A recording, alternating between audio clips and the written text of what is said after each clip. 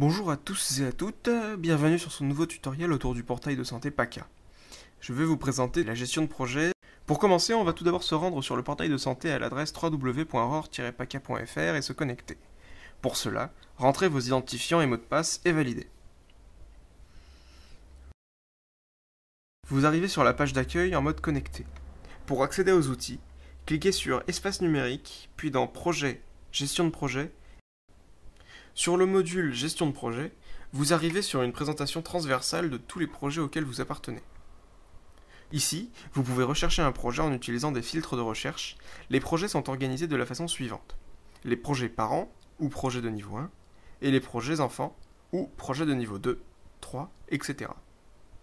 Pour créer un projet parent, vous devez en faire la demande à communication.orupaca.fr.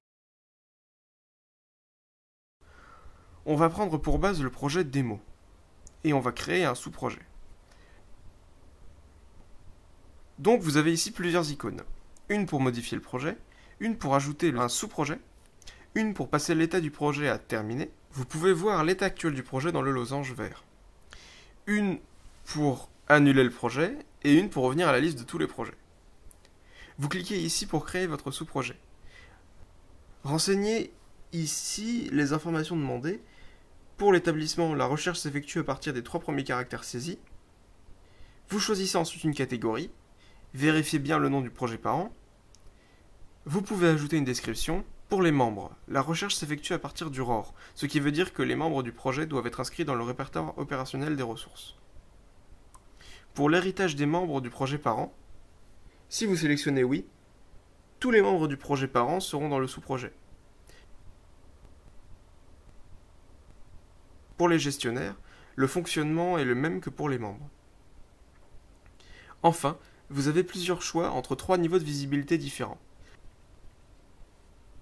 La date de fin prévue est facultative. Et maintenant, sauvegardez. Le projet se présente de la manière suivante. Vous trouvez ici une fenêtre qui n'était pas présente au début et qui fait le lien avec le réseau social. Lorsque vous créez un projet, un espace du même nom regroupant les membres est automatiquement créé sur le réseau social.